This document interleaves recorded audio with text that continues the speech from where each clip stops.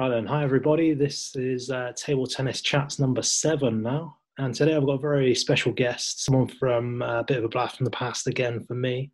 Uh, it's my first ever table tennis coach. Uh, so I'll let you introduce yourself. Hi, um, I'm Judy Higgs. Played and coached in the Bath and District Table Tennis League over a number of years. Not for some time now, but in my younger days, I played and then took up coaching and then ran club for young people to come and try table tennis. Excellent. And so, yeah, Judy, the first sort of question I had for you, really, to kind of expand on a bit more of who you are, is how did you first get started in the sport? Um, I I lived in Batheaston, in the village in Batheaston, and um, there was a church uh, youth club, and I was one of the younger ones. I was, yeah, there were a lot of youngsters, teenagers, uh, and I started. Um, I first came to the youth club when I was about twelve, I think. Yeah, one of the things that was there was like snooker and table tennis and various things that people could do. Um, and I started to play table tennis. I wasn't interested in snooker, so I quite fancied having a go at table tennis. So I just used to sort of mess around at it really. You know, I always had to wait because I was the youngest. I always had to wait for the end of the evening before I could even get on the table because everybody else was playing. Um, but eventually, yeah, I sort of started playing a bit and just enjoyed it, but only to mess around with. And gradually, as I got to be one of the older ones in the youth club, I got more time playing on the table because there was only one table. And just through practicing a lot, yeah, I got better. But then I didn't really do anything in table tennis for a number of years um, until I was working and nothing to do in the evening. I was still living at home and I was just desperate to get out of the house in the evenings because it was just me and my parents and my younger sister. Yeah, I kept thinking, what could I do as a sort of social activity? And I thought, well, yeah, I wasn't bad at table tennis when I was in youth club, and I thought, I'll see if I can find somewhere where I can just play for fun. You know, is there somewhere that I can play table tennis? I had no idea that there was a full league running in Bath because, know, being a Batheaston you're a bit on the outskirts. I sort of looked, um, I can't remember how I found out the information, but uh, eventually I found out that there was a league running in Bath and that Eric Wynne, late Eric Wynne, um, was running the league. And so I just gave him a call and I said, look, yeah, I used to play table tennis um, I'm looking to get into a to start you know playing more regularly. And what do I need to do? And he explains you know he says you need to belong to a club. So he said I'll have a word with some of the um, club chairmen and see if they're looking for any players for next season because this was I think in the summer. So he said I'll, I'll just have a chat with a few of them and see. And it so happened that Oldfield Park were looking for new players and they had one lady who was already playing. Her name was Ginny Sherman, and she'd played for a number of years. And then another lady had joined her, Julie, and they were looking for a third lady to go in the league. And I just sort of said, Oh no, I'm not ready to go in the league. You know, I'm really not that good. And they said, Oh, well, just go along and have a, a practice and we'll see where you are standard wise and then we'll decide whether it's worth you going in the league or not. And if not, you can just go and on practicing and maybe next year you could play. So so I went along and I had a few practices and then I met up with Ginny Sherman and eventually with Julie and we had some practices and decided that we'd give it a go in the league. So we did. And that's where I started playing, you know, sort of regular matches which was quite a step up at the beginning. You know, I was clueless. I had no idea because there is a big difference between playing for fun and playing when you're a bit more serious about it. And obviously, most of the players I played against were a lot better than me. So the first year was a bit of a struggle, but Ginny did well, and Julie had played a bit more than I had before we started. So she did okay, and I just sort of here and there I would win the odd match. Um, but we sort of scraped through our first season. I think we finished near the bottom of the league. We may have even finished bottom, but yeah, that's how we started. And we all got on really well, which was which helped. Um, and that yeah, we sort of said, well, do we want to do this again next year? And Ginny was really keen, so I said, well, all right, I'll give it a go. Um, yeah, and I did some practice in the summer and got slightly better. and we we played the next year, and then over the next probably I don't know four or five years at least. Yeah, we got to a point where we actually won our division and went up. We were amazed. so a lot of it is experience, isn't it, and practice, and so yeah, that sort of got me hooked. Then I thought, oh, perhaps I'm you know I'm getting better at this. So you know, we then carried on playing for a number of years, and Julie uh, Taylor and myself, you know, we played together for a long time. Um, and then moved on to other teams. But we played together for I can't remember how many years, but a long time. Um, and that yeah, that was how I got introduced to regular table tennis. Yeah, I was going to say I was going to ask whether that was Julie Taylor because um, yeah, she still plays in the league now for um, for Oldfield. Yeah. yeah, yeah. I played. I can't think how long ago it was now. Quite a while ago when I packed up because I was really busy at work and it was just becoming quite stressful. And I thought, just got to give up something, and I'm not giving up work at the moment. So yeah, I just sort of stepped back and thought I've probably done as much as I can do, and yeah, time to stop now. But whenever you know, if I'm away anywhere or you know on holiday or something, there's a table tennis play table. I mean, John can play obviously, and so we, we always have a knock around somewhere, you know, and enjoy it just for the fun of it. So, I mean, that was how I got started and how I started to play competitively. Yeah, I'm just picturing that summer where you, after the first season, we all went away and you know got got a lot of practice in and got better. I can just imagine the Rocky music playing in the background for, for that summer there. But yeah, yeah. I mean, yeah. part of it was, um, you know, that uh, John, you know, my husband now, was the chair of the club, and he used to go and practice in the summer. Not lots, but yeah, they used to go once a week or something. And you know, there was like a drop-in arrangement, so that anybody who wanted to play could just drop in and play. And so he used to play against anybody who turned up, and so did some of the other players. So you got to play against better players, and that always improves your game. Um, because you have to sort of step up a level if you're playing somebody good. Otherwise, you just get totally wiped out. so um, so that was good. And then I think it was, I think it was the second second year we improved, and I think the third year, it may have been more than that, may have been more than three years. It took us to, to get out of the bottom bottom division. We gradually got better, and then that first time we won our division, we were like over the moon. We were like, wow, we're really good now. and we thought we were really good until we started playing in the next division up, and then we realised we weren't that good. We had improved, but we weren't as good as we thought we were. so, um, but yeah, we went on playing, um, and then I got asked to play in um, in the Mendip League, so I started playing there. And then there was another league, I can't remember where it was now. Oh, in the Wiltshire League, but I didn't play very often in the Wiltshire League, only occasionally. But yeah, so, and then you kind of get you know, it takes over your whole life. but yeah, I used to enjoy it. As I say, it was a way of getting out, out of the house and you know doing something different, and it was sort of fairly sociable. I mean, it's not the most sociable sport, but it was you know fairly sociable. You got to meet meet a lot of other people that were you know enjoying table tennis. And you get to talk to them about what matches you and who you'd beaten in your division and all this kind of thing and who they'd beaten. So um, yeah, it was good fun.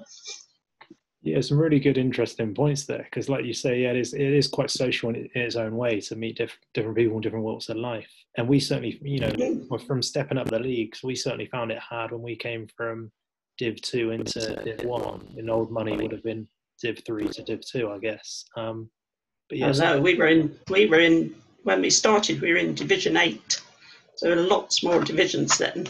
So we had a long way to, as I say, work our way up and I think the highest I ever played was probably Division One.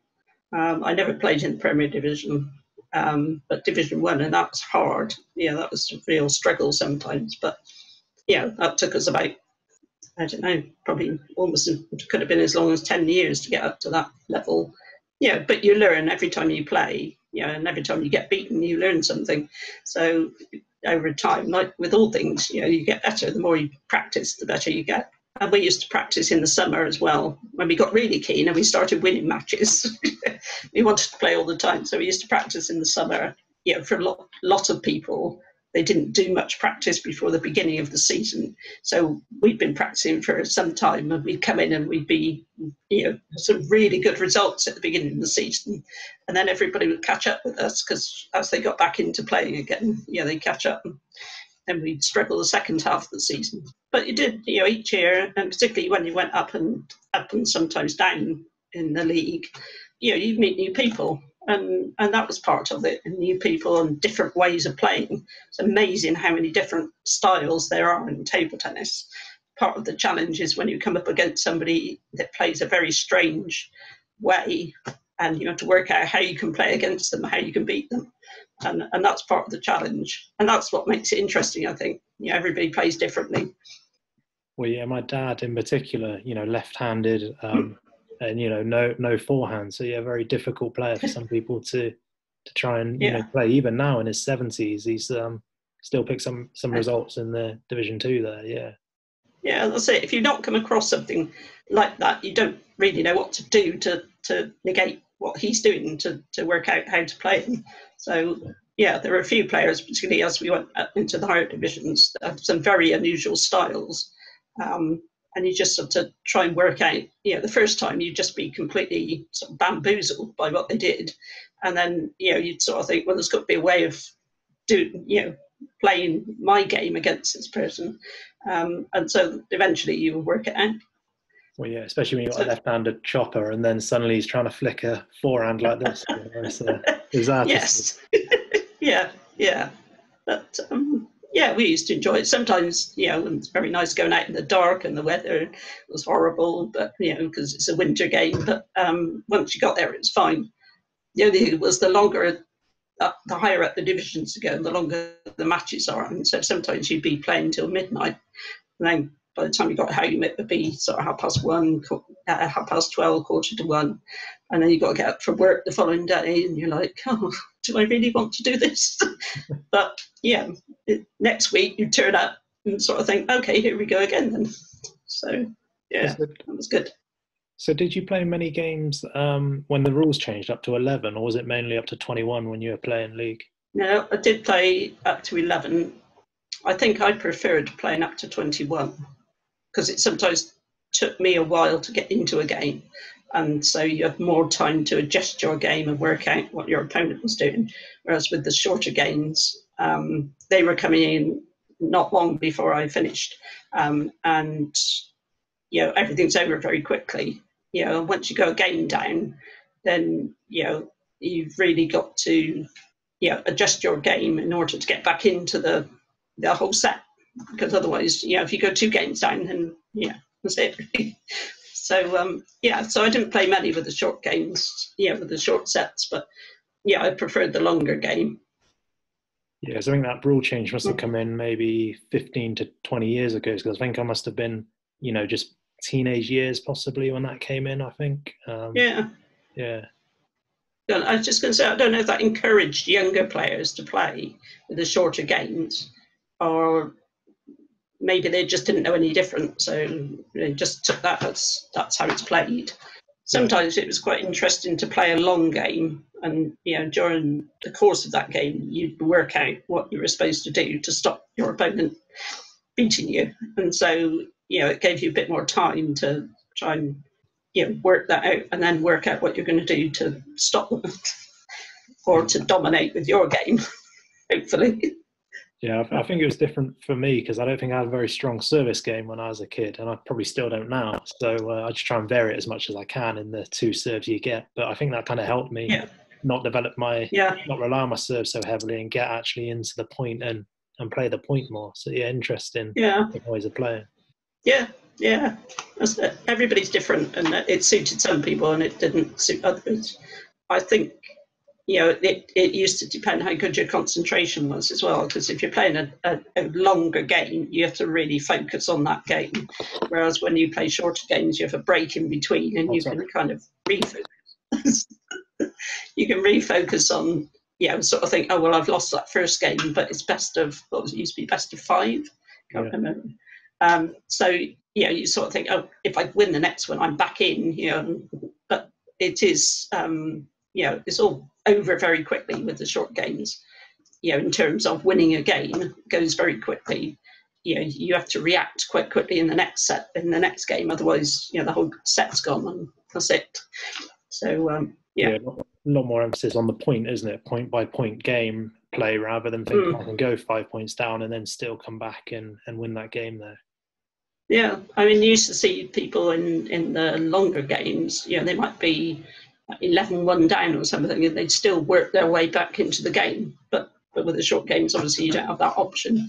So it, it did change the way the game was, not so much the way it was played, but it made it easier for some people and harder for others. Yeah, I suppose if I if I played the short game for long enough, I probably would have adapted, worked out a way of using that those breaks and you know starting new games to sort of you know do better. Definitely. And so, um, go, going back a bit, so you said that your first club was uh, Oldfield. Mm-hmm. And you had to obviously um, seek that out actively and, and phone the chap uh, in charge to, mm. you know, go and find yourself a club. Yeah. And that's we touched on it as well. You met um, John, your husband, there. Um, that's right. The first time I met him, yeah. very first night I went to practice, he was the one who was there Yeah, opening up the club and, and you know, gave me a little knock and sort of introduced himself and explained a little bit, not much, but explained a little bit about how the league worked. And I was like, I'm not ready to play properly. I'm not ready to play competitively yet. And it was like, well, that's okay, but just, yeah, come along and practice. And then I think Ginny and Julie came in later in the evening. Um, we all got to know each other and had a bit of a practice. And yeah, that was kind of yeah, I, I didn't think I was going to be good enough to play in the league. And I have to say, the very first match that I ever played in the Bath League, um, we played at the what was then the police station in Manvers Street. Okay. And upstairs in the police station, they had the table in the middle of the room, and there are pillars all around the room, and you, you know they played there and they knew how to put the ball near the pillars so that you can get it back. and yeah, and also they were you know six foot tall, strapping lads, and you know I was five foot nothing, and as nervous as anything. so I didn't do very well in my first match. but I think I think the police might have won the league, won our division that year. So you know we sort of looked back on that and thought, for a first game we did okay. It was quite a shock when you play competitively, even when you practice a lot. When you first play competitively, it's a real shock how quickly the game goes, you know, and the points go. Um, and, you know, you have to learn very quickly tactics and concentration and, and how to move and how to um, react to what somebody does. Um, and that, I mean, the more you play, the more you learn that. But and watching other people, you learn as well. And, and so with John at the uh, at Oldfield Club as well, back then was when you first met. Was he one of the, the better players there, or and sort of what did you yeah. learn from him when you were knocking with him? Um, well, just consistency really, because he could always get the ball back. You know, wherever it went, he could always get the ball back. I mean, that was the thing. You know, when you start, you know, you try to play sort of big smashes, and they just fly all over the place. You know, but I mean, he obviously was at a different level to where I was. Um, so he was just keeping the ball coming back at me all the time.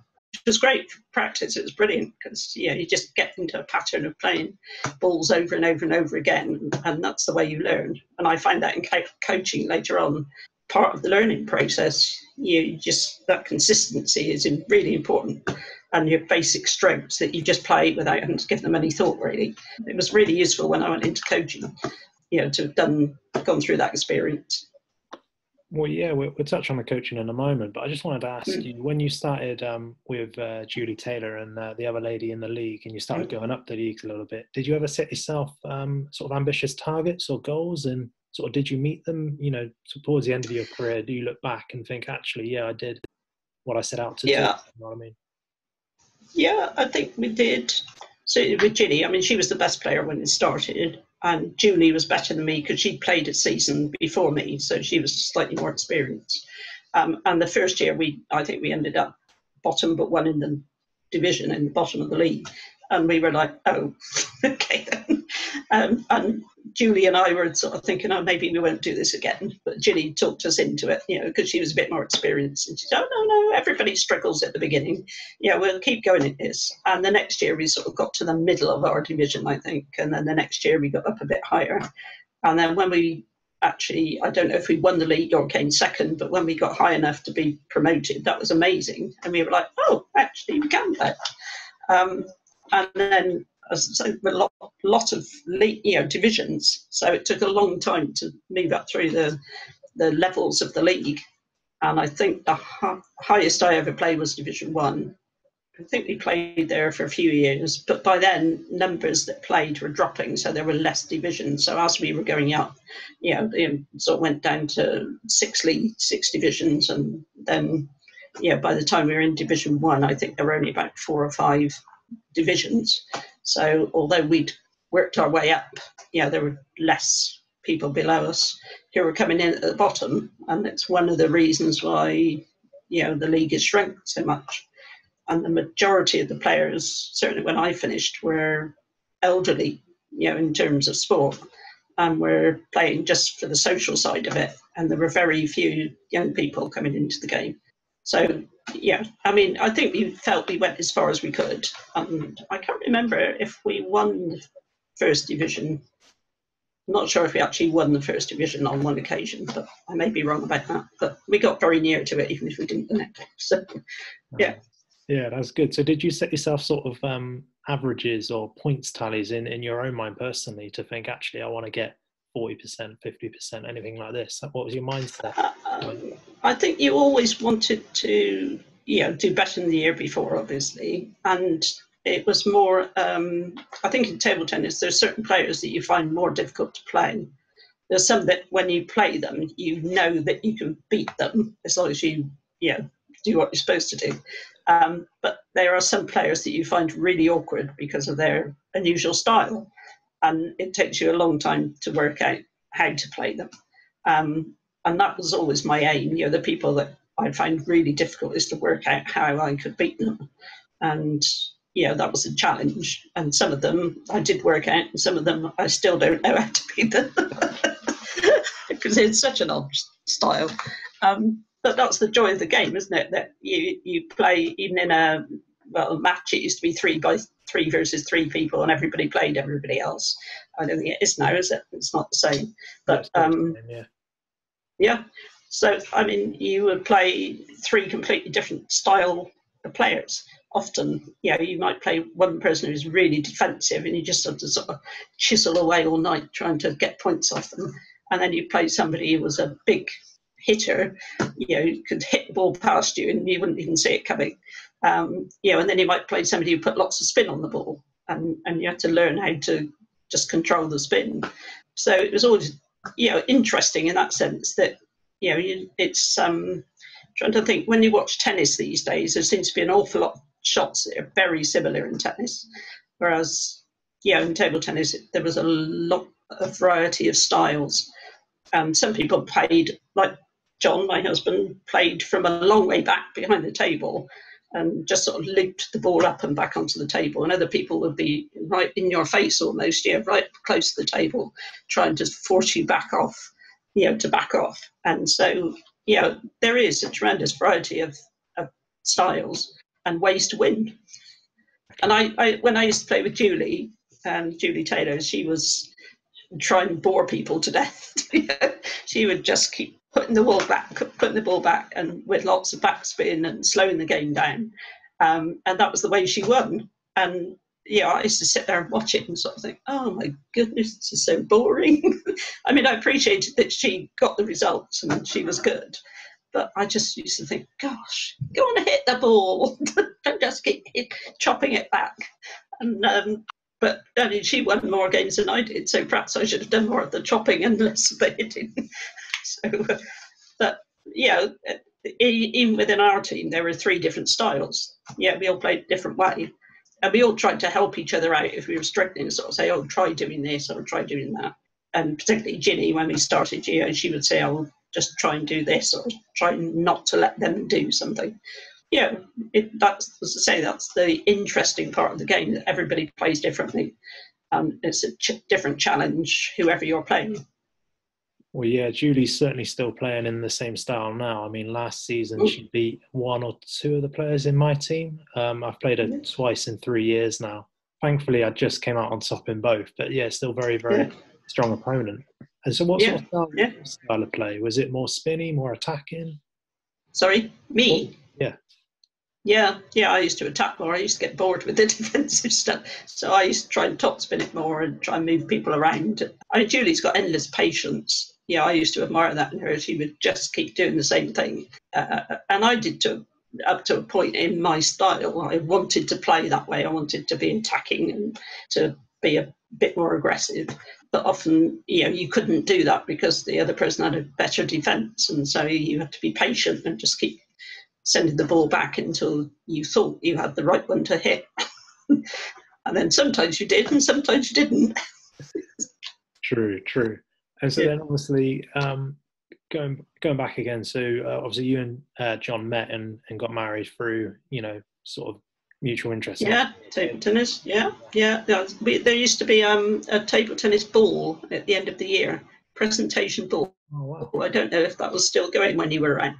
Um, but yeah, they used to have a posh do. I think we ended up having the last one in the pump rooms or something like that. Oh. And it, there was a big presentation. It was quite a you know, prestigious occasion for table tennis, and you know all the players would come um, and all the trophies and the awards got handed out at, at that thing.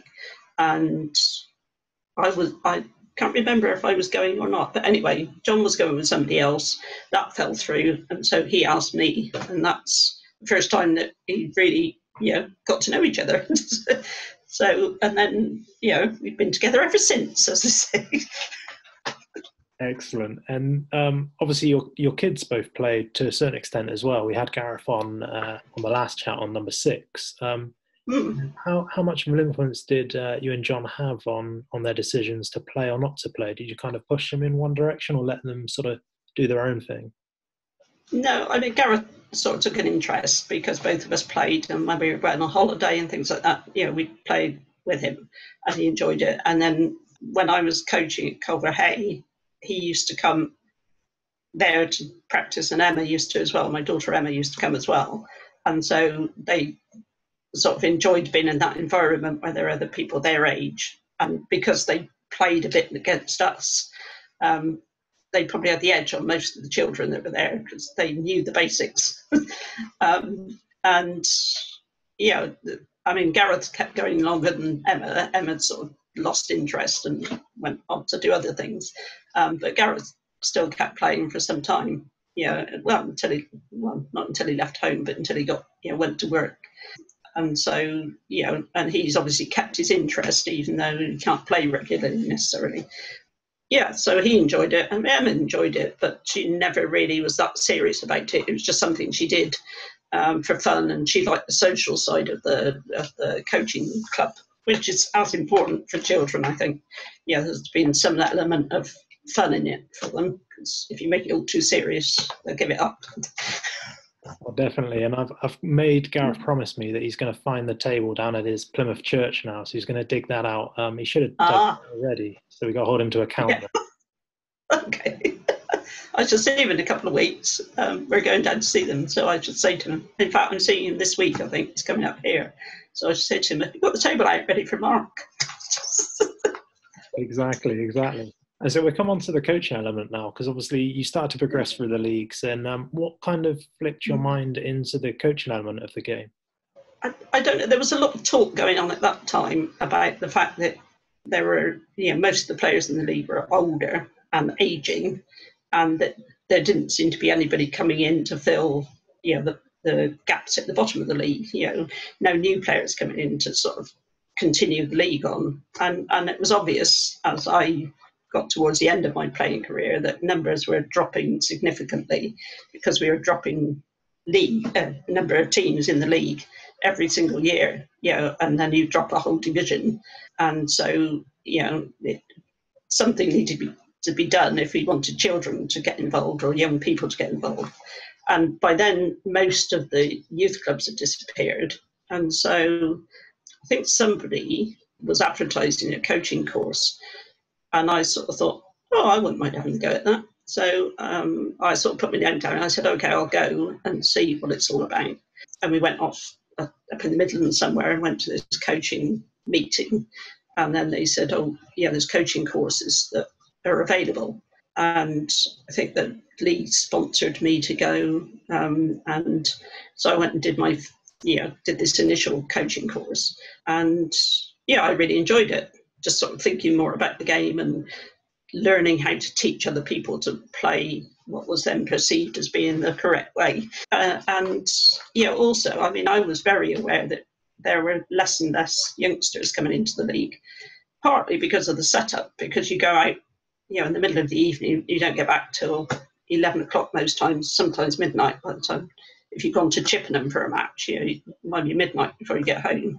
And yeah, that's not something that parents are very keen on. So yeah, I was aware that there were very few youngsters coming in. Then I got um, invited by the council to run some sessions for them in schools, uh, and I think that's where I met you, but um, amongst a lot of other children. Um, and then, yeah, that sort of got some enthusiasm for, for coaching and actually doing the practical stuff with youngsters. Yeah, I sort of had this idea that we really ought to provide somewhere where youngsters could play on their own and young people could play. And they weren't always playing against, you know, some 40 year old man who had been playing for years and didn't give them a chance to sort of practice properly, just sort of hit the ball past them all the time. So um, that's how, well, that's how Culverhay school coaching came about, but it was all sponsored by the council. It was part of one of their schemes to get children involved in sport. Um, and so uh, they uh, made a contribution money wise to get it set up and buy some of the equipment we had there. I think we used, um, there was a grant scheme that Leeds could apply, or all sports could apply for equipment, and, and then they had to use it for development. So that's how we got into, that's how I got into coaching at Culverhay. And that I think probably was the, the best bit of my table tennis career. I really enjoyed doing it you know, people used to sort of say to me, "Oh, you know, how many kids have you got who are going to play in the league?" And I said, "I don't know yet because they've only just picked up a bat, and yeah, they'll take a while, but uh, eventually some of them will come into the league." But even then, I was aware that the chances of many of them playing league table tennis was very slim because of the hours involved, you know, coming out late at night, going off with a couple of strangers to, you know, the middle of nowhere to play table tennis, not going back till 11 o'clock at night sometimes, um, was just not acceptable to most parents. You know, they weren't going to get let their sort of eight, nine, ten year olds go off and do that. By the time I had sort of been running the, the sessions at Culverhay for a while, um, I realised that you know what we needed to do was to have a junior league somewhere, to have a hall where everybody played against everybody else in the you know week by week in in the same building, and parents could drop their children off at six o'clock in the evening, come back and pick them up at eight, and they could play their table tennis and play competitively or you know just do coaching if they weren't ready for competition. Yeah, I mean, yeah, that's how I got involved. Um, you know, with table tennis. I mean, I always knew that my, my dad had played, and I'd seen the trophies in the dining room on our little, like, you know, shelves and what have you, um, different bits and pieces. Many runners up though, Dad. I got to say, but. Um, but I thought that was really cool that you could win trophies for table tennis. And obviously, um, I knew you um, through Sunday school um, at yeah. the church. Yeah. And then when you came into Moorlands Junior School, the school I was at when I was about what eight nine year old, um, and just playing for a full hour of table tennis, and you know realizing that you could pick up a bat and start hitting the ball, you know, quite well from mm. from the off. It was a you know great encouragement. And then yeah. I, I kind of remember that we we did the coaching on a Thursday night, I think it was, up at Culverhay, and you yeah. got, um, it wasn't just like attendance awards. You got awards for concentration for hitting the ball properly, mm. doing different mm. things like this. Um, and then certainly that league structure as well. Um, I remember my first ever trophy, which I can't see it actually. I've got it somewhere about here, but it was in 1998. I think I was 10 years old, um, and I played your son in the finals of the handicap. Um, yeah, destroyed me, so I got the runners up. Just you know? Yeah, it was, yeah. It was a nice little thing, you know, thing to have, and that's what encourages the kids to to keep going. I mean, I, I was Oh, yeah. never going to be Yeah. world champion or champion of Avon or what have you, but you know, it's really good Yeah. to to see. Um, Yeah, I mean, we used to run. I think well, once a year we had we used to have a championships at Culverhay, and I know, yeah, it was quite hard work to get anybody from the league to come along and support it. And the chairman, who I can't remember, who, I think it was probably trying to think who was what his name was, Bob somebody, and I can't think of his surname. Um, but he was a very good supporter of the league, and he came along and gave out prizes, you know, and there are little these little plastic medals and it meant a lot to the children, you know, to to have won something, you know, and and it sort of kept them going and kept their enthusiasm, uh, in the sense that you know I just decided what we were going to do and that's what we did, um, but you know it was a balance between trying to make it enjoyable but equally doing something worthwhile during the evening, not just running around like mad things, hitting balls all over the place or. Um, and I always used to say to the kids, if you're coming to table tennis, if you're coming here to play table tennis, we're playing table tennis. And, you know, you can throw a few games in that make it fun. Um, but, yeah, I would never let them just run riot. Um, yeah, it's funny you said that because I had to use exactly, almost exactly the same wordings when I started Keynsham Table Tennis Club um, here in, you know, obviously here in Keynsham, and I had um, Yeah. about eight teenagers that came along, quite young teenagers, and they would run around and, and mess about and shout at each other, different schools and what have you. Yeah, almost Yeah. law, exactly the same as you said there. Yeah, yeah, I mean, it was easier for me because mine were, I think they were under 12s or something. We had a limit, of age limit, because it was essentially about getting youngsters. Um, and that came, that grew out of that program that we did. I think it was Marcus Berry and I that went, went into schools all over Bath and the surrounding area and did uh, just one off sessions where we came in. And, and the critical thing about those sessions was that everybody had a bat and when you gave a bat to each of the children, they were like, "Oh, am I allowed to do something? I don't just have to watch them. I can do something." Give them a bat and the ball, and sometimes it was chaos because all these balls were flying everywhere. But it was just that feeling, I think, that somebody had actually given them a bat and said, "Okay, you can play. You don't have to stand and watch. You can play and join in." Um, and they were chaotic because there were 30 children in a room with, um, and most of the schools that we turned up at, um, they used to say, "Well, what what are you going to do? How are you going to manage thirty children in this ring?" And we sort of said, "Well, don't worry, because it's going to be lots of different activities for them to do." Um, and they said, "Oh, we haven't got any tables." We said, "No, that's fine. We use the dining tables, um, and we had these plastic nets we could just put across the table, which were fine." Um, so it's just finding different ways of doing it so that it fitted the circumstances. And and we played we did the coach, coaching session as it was called um, in some absolutely horrendous places. I mean i know swainswick school i think it was. We just had a classroom not much bigger than my dining room with 30 children in and we were trying to teach them to do something and it was a bit chaotic. And i got the impression the teachers weren't very up for it out there so um, we managed something but um, yeah it, it, it was just a way of showing kids that, you know, um, to play table tennis, you have to have a, a, certain element of control. You can't just sort of wave your arms about wildly. And also, um, you know, it can be fun and, and you can play. You don't have to have a proper table and, you know, proper facilities. You can play it on the dining room table if your parents are there. So, So this is the first uh, table tennis chat I'm going to put into two parts because this was a bit of a bumper conversation with me and Judy, Judy here, a lot to uh, catch up on. So yeah, please stick around for part two. I'll be linked, uh, you know, in the description and on the end cards uh, when it's available. But thanks all for watching. Uh, please do subscribe, uh, like, share this video. Put any comments below if you used to know Judy or play with her. Uh, that'd be great, and hopefully you got some value out of this video. And like I say, part two will be coming very, very soon. Anyway guys, thanks for watching, cheers, and see you again soon.